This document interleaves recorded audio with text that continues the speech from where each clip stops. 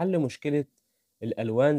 أولا الشاشة بيكون شكلها معتم وغريب وكمان لون الأيقونات بيكون متحول بشكل غريب. وأحيانا بتكون الأمور أسوأ عند بعض الأشخاص وبيكون في تغبيش وتعتيم على الشاشة كمان والأمور مش بتكون واضحة.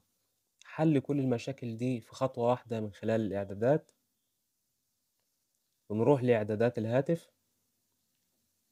بعد كده بنروح لاختيار إمكانية الوصول نضغط عليه. وعندك هنا تحسينات إمكانية الرؤية. وبننزل للأسفل.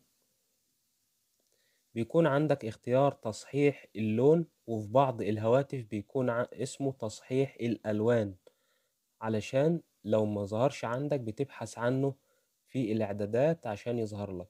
نضغط عليها. بيكون قيد التشغيل إحنا بنغلقه.